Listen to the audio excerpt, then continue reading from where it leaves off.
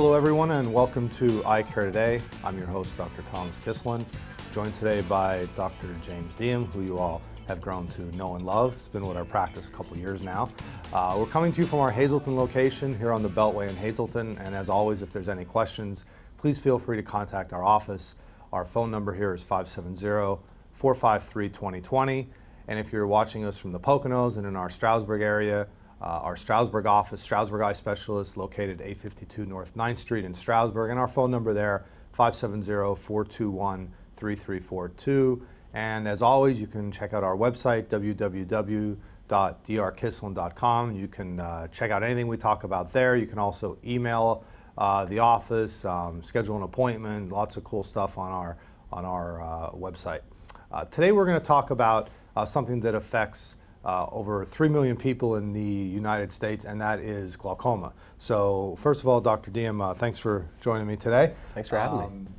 You know, glaucoma, you know, what, what, I thought we would do with this show is, is get down to some basics. You know, the last couple of shows we've done have been really kind of uh, some new technology. We've really talked about some new things we're doing in the office, but you know, you and I discussed possibly getting back to some basics, some some things that we see a lot of patients coming in with now. Uh, and just to give the folks an idea out there, we're going to do um, a set of three shows, and this is going to be the first of a series of three.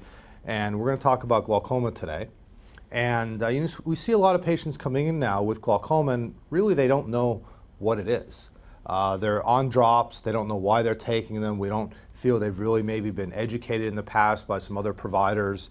Um, and we thought we'd take a step back and go over this. So why don't you tell the folks out there, you know, what we're talking about here. What is glaucoma?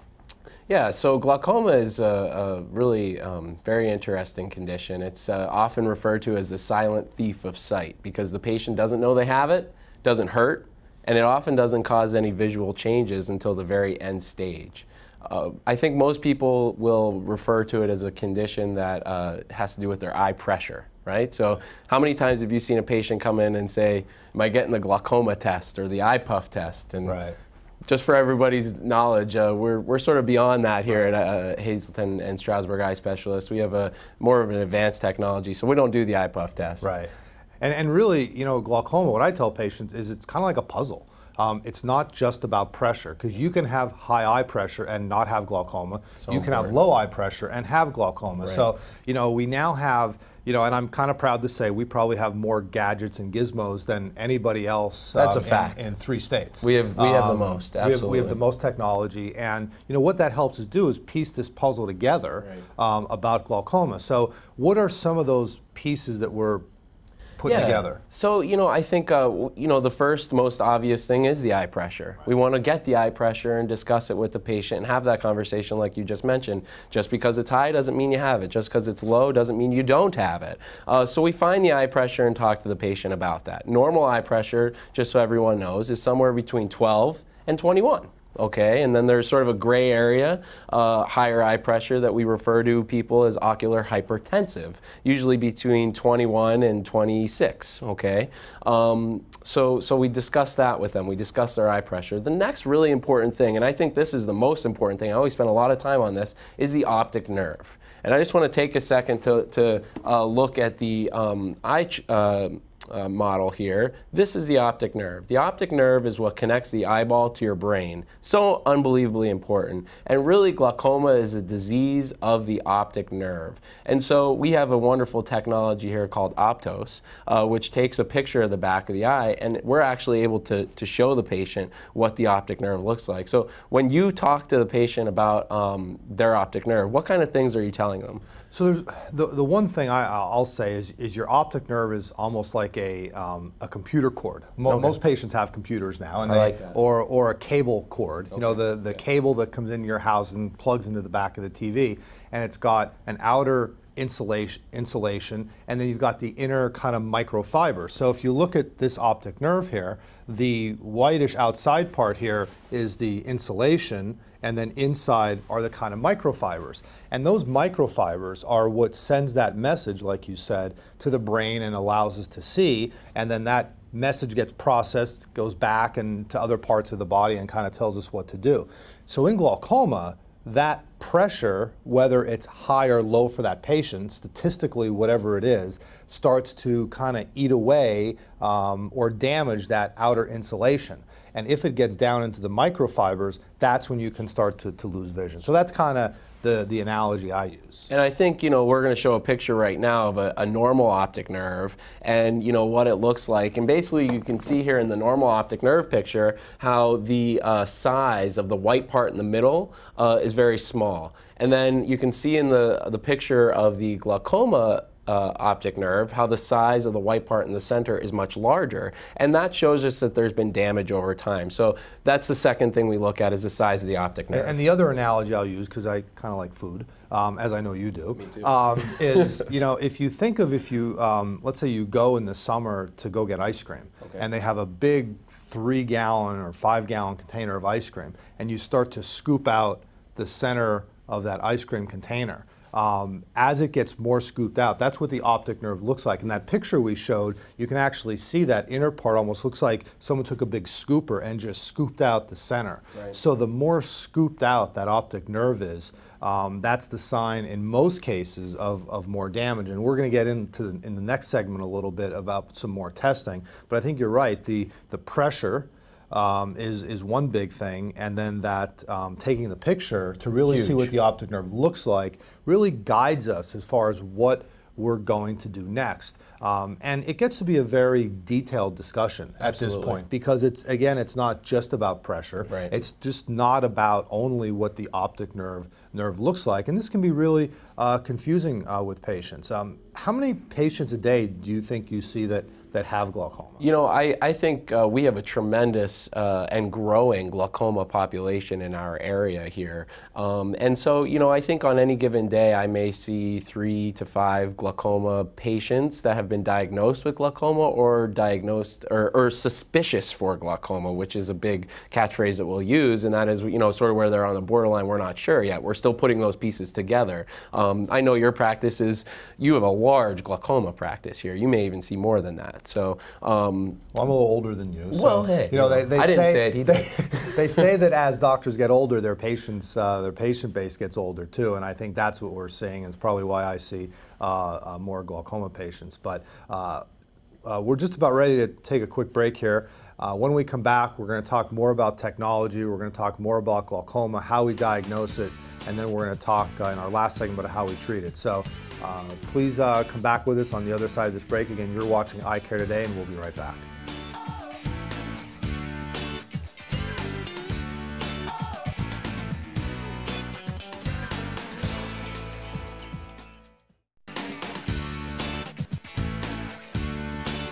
Welcome back, everybody. You're watching Eye Care Today. I'm your host, Dr. Thomas Kislan, joined uh, uh, today by Dr. James Deom, who you've all grown to know and love again uh, here in Hazleton and, and Stroudsburg. And uh, we're coming to you from our Hazleton location, Hazleton Eye Specialists on the Beltway in Hazleton. Uh, as always, any questions, 570-453-2020. In Stroudsburg, 570-421-3342. Catch us on the web at www.drkislan.com. If there's any questions, comments, suggestions for shows, anything like that, please feel free to reach out. We are here for you. Uh, Dr. Deom, last segment, we got into glaucoma. Uh, you called it the silent thief in the night of your vision, which I think is a Yep. great, great analogy. Um, which you know, I just want to backtrack a little bit. And I was just kind of thinking in the last segment, and, and you know, we had to end. But you know, a lot of patients will come in and say, you know, I'm 45, I see well, I only need reading glasses. Why the heck do I need to get my eyes examined? Sure. Um, because they feel like they they don't need glasses. So you know, for me, this is where we have this gap in society between maybe 45 ish and 65, where patients will go 5, 10, 15 years without seeing the eye doctor. Why is that bad? You know, I mean, there's just a there's just a tremendous uh, amount of things that can be occurring in the eye uh, that we don't know about, that we can't feel or see or have any understanding as to whether or not they're going on. Um, you know, it's a, this uh, glaucoma is the second leading cause of vision loss in in the world, um, and the reason that is for the the majority of those individuals is because they have no clue that they have it, and there's just an unbelievable amount of things that can be going on in the eye. One is uh, another one unrelated to glaucoma, although there is a connection connection um, is diabetes, right? We talked about that many times, and but there's many signs. There's many times I know that you and I are the first ones to uh, let somebody know that they're at risk for diabetes, high blood pressure, heart problems, cholesterol, um, all of which can uh, increase your risk of glaucoma. Right. And you know, with diabetes, you know, a lot of patients they'll find themselves peeing a lot at night. They're losing weight, even though they're eating more. So there Right. are some signs Some and symptoms signs, that are going on. But glaucoma, there's nothing. Nothing. There's nothing. So you know, I've seen these patients, 55 years old, come in and say, you know what? I've been hitting the curb a lot when I when I pick my daughter up at school Right. on the one side. You know, why am I? You know, I need glasses because I don't see as good on the right. And we do all this stuff, and they've really lost half their vision in one eye already. So, you know, you know, this is. I, I think the point we want to make, and again, we said we want to get back to basics a little bit with with uh, some things we talk about here. It's very important to get your eyes examined, even if you feel like you see well, because the health of the eyes is something that you know I think um, patients think there's nothing wrong with, even though they don't need glasses. So. Um, And really to know that, you know, we go the extra mile as far as taking care of the health of the eyes. You know, I mean, um, lots of healthcare and eye care providers out there, but again, we're, we're really on the cutting edge of glaucoma care and treatment here in this office. And the big thing, you know, you, you discuss people walking into curves and things like that. Um, a lot of times in our 40s, uh, this is a condition that happens very slowly over many, many, many, many years. And that's another reason why patients don't notice because that, that change in their vision, which is usually their peripheral vision, happens very slowly over many years. So maybe pa- patient will come in at 40 and it's only the beginning part. And the big catchphrase in medicine right now is preventative medicine, right? Preventative medicine. So that's the point where we want to do something before they get to the point where you are talking about running into things and bumping into things. And that conversation is very difficult, honestly, because a lot of times I'll have a, a young, healthy guy, for instance, who, like you said, hasn't gone to a, any healthcare provider in many years and came in because, oh my God, I can't read anymore, so I got to do something. Um, and I'm telling them they're at risk for glaucoma, and they're looking at me, looking at me like I have 25 heads. They're thinking I'm making something up. But you know, again, it's painless. You're not noticing anything, and a lot of times people pride themselves on excellent peripheral vision. You know, and so they're like, "What are you talking about? I didn't lose any peripheral vision," and they haven't. But once it's gone, it's gone. Or, or sometimes they have in one eye, but you don't Right. notice it because your other eye picks that up. Right, You know, right. Yeah, God was smart. He gave us two eyes for a reason. Right. But you know, a lot of patients just don't realize what they're missing. And you know, so again, the, the point I want to make is, you know, we have a great optical here. You know, we have 2,000 frames on the board to pick from. But you know, the glasses part of an eye exam now, for me, is like 10% Very of, small, of, yeah. of what we do. It's not about just glasses anymore. And it's the easy part in truth, right? Right. This is really where being a doctor gets fun. You know, this is where we get to put the, like you said, put the pieces of puzzle together and figure it out. Right. So um, I'll get off my soapbox now. And, That's uh, well, um, so if you're out there and haven't seen an eye doctor in a while, please get get checked and, and go see the eye doctor. Um, so anyway, uh, when we get back to glaucoma, we talked about checking the pressure is part of the piece of the puzzle. Right. Uh, we talked about what the optic nerve looks like, but we got to talk about how the optic nerve functions. Um, so how do we check how the optic nerve functions? You know, the, the gold standard for optic nerve function is visual field testing. Okay, so visual field testing is um, done in several different fashions. The most uh, uh, archaic form is simply placing fingers and, and moving your hands out in the periphery of one's visual field and seeing if they could uh, see those things. We'll pick up on vis- big visual field cuts by doing that. Um, but the gold standard is um, through a, a, a Humphrey visual field system, uh, which we have here in the office. Which all patients hate. They hate it. They hate it, and you know they go, oh, I got to do the visual field. The button now." test. It's one where you press the button and you see the light. I know hate it. patients hate it, and if you're out there and I've made you watching and I've made you do, and I apologize, but it We're is- sorry. It is the gold standard.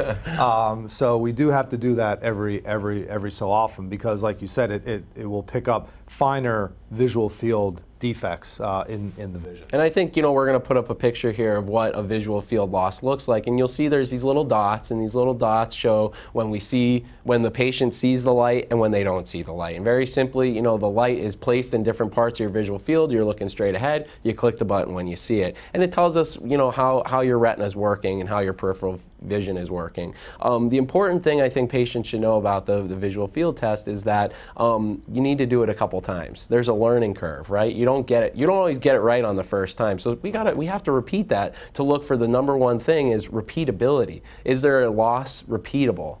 So. And, and, you know where where visual fields are, are good, they do have their problems, like you said. So there's another instrument now called an OCT, which can actually pick up damage to the optic nerve a couple years earlier than we actually see it on a visual field. So explain to the folks out there what an OCT is. So we always talk again about the optic nerve and what it looks like, and we can see a two-dimensional image of that, and we'll put that picture up again of what the optic nerve looks like, but we don't know how thick it is, okay? And so what the OCT does, it actually shows us how thick it is, and that's a big part of glaucoma and the damage that's done to the optic nerve is, is it thinning? So you can see here in this picture of an OCT printout how the yellow and red is denoting thinning in areas on the optic nerve. So that's, a, that's definitely a part of every glaucoma workup here at the office.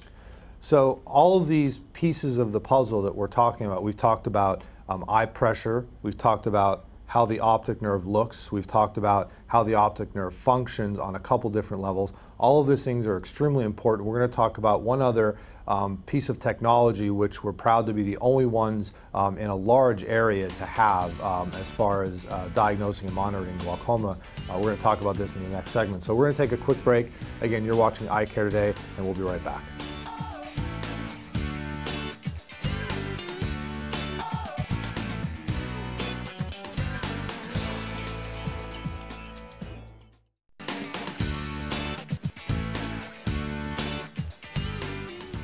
Welcome back, everybody. You're watching Eye Care Today.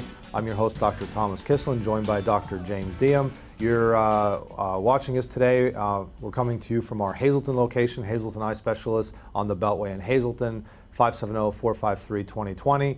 If you're watching us from Stroudsburg, uh, Stroudsburg Eye Specialist is our location out there, 570-421-3342. As always, check us out on the web, www.drkislan.com. So uh, went through a lot in the last two segments about glaucoma. Uh, Three million people in the United States suffer from glaucoma, like we said. Um, the silent thief in the night uh, stealing your vision. Uh, lots of pieces to put together when you diagnose glaucoma. It's not just about eye pressure. Right.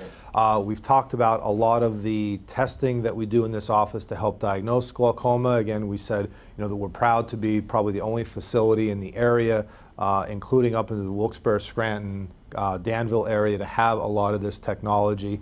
Um, so you know, diagnosing glaucoma takes a lot. Uh, there's a lot of pieces to these puzzles.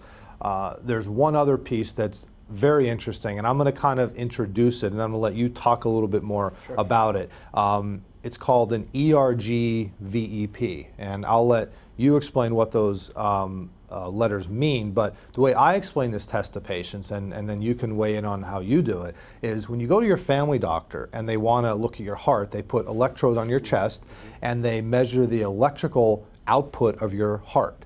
Uh, very important. Well, now we can measure the electrical impulse of the eye and how fast the electrical signal goes from the eye to the brain and back. And that's what this technology in a nutshell does. So if you could kind of just uh, go a little bit more into that. Yeah, so I, I really like that analogy. Actually, I'm going to start using it. I wish you would have told me that right. earlier, because I love didn't that that analogy. you were an intern? That's fantastic. I really like that analogy. That I think patients really could uh, uh, identify with that. But yeah, so electroretinogram. Okay, electroretinogram or ERG is an evaluation of the electrical output of the retina. So we put some electrodes on the front of the face, and basically we we shine a bright pattern on this screen right here. And what that pattern does is it, it, it generates an electrical current by the eye. The eye is an electrical producing unit, and it speaks to the brain through an electrical impulse. And just so the folks know, we're, we don't have the machine on. It takes a lot to boot up the machine and, and get it going. So we usually only do that during patient care hours. Right. So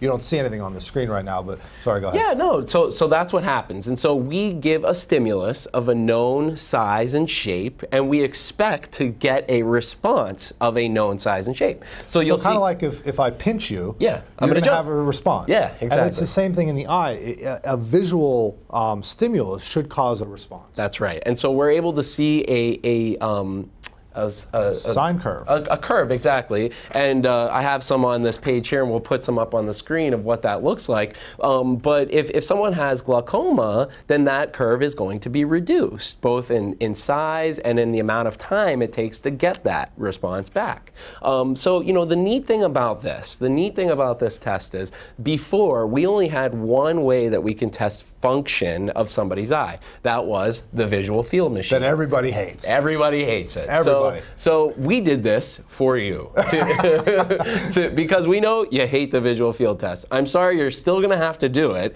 but this is going to give us a really important objective, meaning it doesn't require your response. Your uh, response has nothing to do with the effectiveness of the output of this test.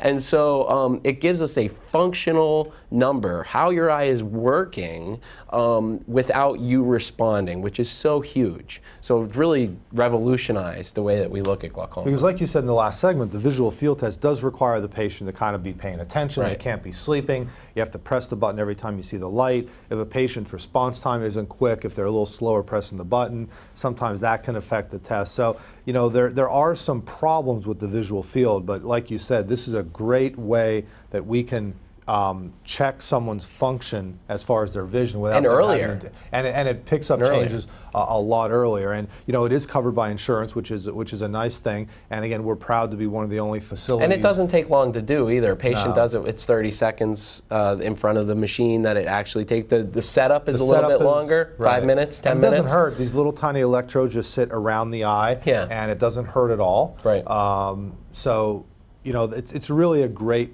Uh, test to have have at our disposal, and um, you know, if, if you are a patient or do come here as a patient, this is something that we will be doing. Um, you know, with the last couple of minutes we have left in this show, and I can't believe it, it went so fast, uh, talking about glaucoma, you know, if we diagnose someone with glaucoma, it's not the end of the world. Uh, That's right. It doesn't mean you're going blind. And a lot of patients get really upset. You know, oh my gosh, you told me I have glaucoma, I'm going to go blind. You know, nowadays, what I tell patients is in 99% of the cases, um, if a patient does what we tell them to do and we do what we're supposed to do, you really shouldn't go blind anymore. The treatments out there are so good now for glaucoma. And the number one treatment now for glaucoma is what? Drops. Drops. Very simple. you take a drop. You put a know? drop in the eye, right. And usually that drop, eye, not in the mouth. not in the mouth or In the, eye. ear. Okay, in the eye. Usually uh, the drop too is once a day, once a day at night. that technology has come so far. When, when I was in school many years ago, um, we used to have these drops you had to take four times a day, six times a day. They had a lot of side effects, but like you said, now the drops are really pretty simple. It's just usually once a day before you go to bed. Does a great job of lowering the eye pressure, and sometimes we do have to add medication to that. So maybe there's another drop they may have to do in the morning. But again, it all comes down to using, like you said, all the tests we have at our disposal to see now how these drops are working. Is the disease not progressing anymore? Right, and I think you know the drops. Um, again, you know, I think this is part of the reason why people get so mixed up with glaucoma and eye pressure being the only thing that's important. You know, at this point, as far as treatment for glaucoma, all of our treatments are aimed at lowering the eye pressure. You know, so that'll be the game that we get into then when we see you uh, after we decide to start treatment. Is what's your eye pressure now? Usually, we're looking to lower it by 20 to 30 percent with a drop. You know, and so you know if you're in the if you're 22 or something like that, oftentimes we want you below 16. You know, so that's the game we'll play when we talk and, and discuss, you know, what kind of drops are working, what drops aren't. There are some surgical uh, treatments for glaucoma too. And you know, the, the other thing I tell patients not to get really caught up on, you know, glaucoma is a disease of time. Right. It doesn't go bad very quickly. Um, so, you know, if someone's pressure, if they come in and their pressure's a little high at that visit, even though they're on drops, I'll say, listen, let's just check it next time. Nothing's going to go really bad overnight. You know, so we have some time to deal with this and do these tests and and sit down and put all these pieces together. So, um, you know, as as we wrap it up here, um, we went through a lot of information, and that's why you know we put our website up on the screen. We put our phone numbers up on the screen. If there's any questions, please feel free to reach out. Um, if you're out there and haven't had your eyes examined, please give the office a call and come in and get your eyes checked because you may have glaucoma. It's something we can detect early now. It's something that can be treated very easily. Uh, we're here to help you. Um, give the office a call. Um, again, uh, ladies and gentlemen out there, thank you for watching. Uh, I've been your host, uh, Dr. Thomas Kislan, joined by Dr. James Deom, and you're watching Eye Care Today. We'll see you next time.